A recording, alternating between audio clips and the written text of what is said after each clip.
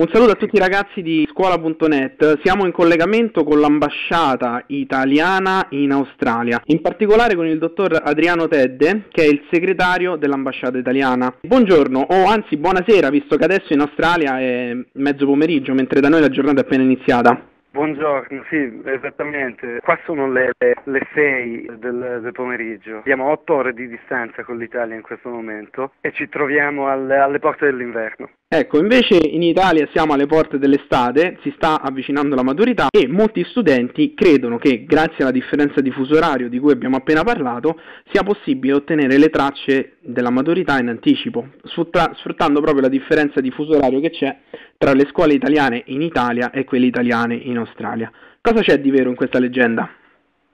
Si tratta esattamente di una leggenda, una leggenda metropolitana, a noi ben nota. Uh, molti ragazzi pensano che si possa sfruttare, come le diceva, il um, fuso orario fra Italia e Australia per conoscere in anticipo le tracce degli esami di maturità. Questo non è possibile per due ragioni molto semplici. Una è che non esistono scuole italiane in Australia, non esistono cioè istituti dove eh, gli studenti sono chiamati a rilasciare gli esami di Stato. L'altra ragione, anch'essa molto semplice, è che eh, l'anno scolastico in Australia segue un calendario diverso dal nostro. Qua ci troviamo nell'emisfero sud del mondo, eh, le scuole iniziano a febbraio e finiscono una settimana prima di Natale. Quindi nel mese di giugno, quando, luglio, quando da noi si tengono gli esami di Stato, i ragazzi qua si trovano in pieno inverno, appena a metà anno nel, nel loro anno scolastico. Eppure mi diceva, dottor Ted, che nonostante questi ragionamenti che sono molto semplici e facilmente eh, verificabili anche facendo una ricerca su Wikipedia o comunque su qualsiasi altro sito internet, in realtà ci sono tantissimi ragazzi che nei giorni precedenti l'esame si spingono a chiamare l'ambasciata, è vero?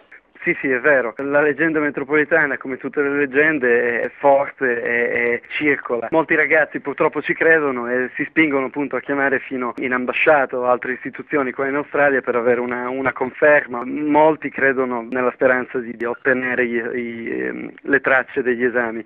Qua in ambasciata riceviamo diverse telefonate e email ogni anno.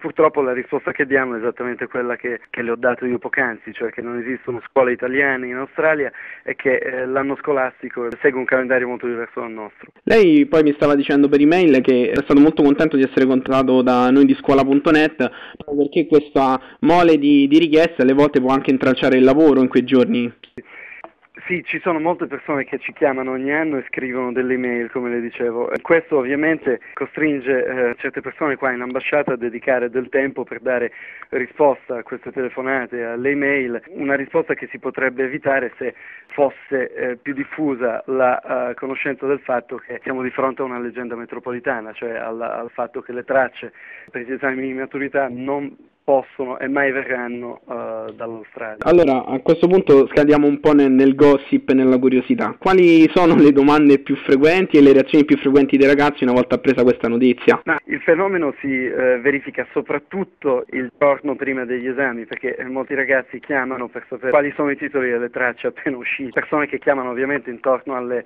eh, 3, alle 4 del mattino in Italia, sperando di poter sapere con qualche ora anticipo i temi dell'esame. Le reazioni sono varie certe persone non, non, ci credono e insistono, pensano che qui esistano delle scuole italiane, altre chiudono il telefono e non sanno più sapere niente di loro. Quindi sono persone che chiamano nel cuore della notte, la notte prima degli esami, per chiedere informazioni, corretto? Esattamente, sì.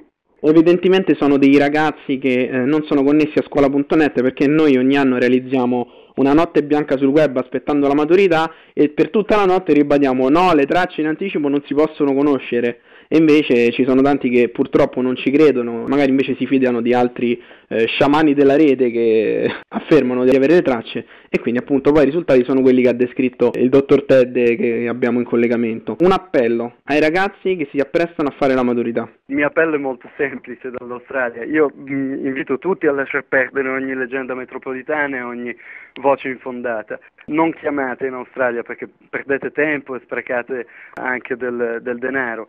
L'appello eh, che posso fare è quello più semplice di tutti, studiare, essere pazienti e non sperare in cose eh, infondate.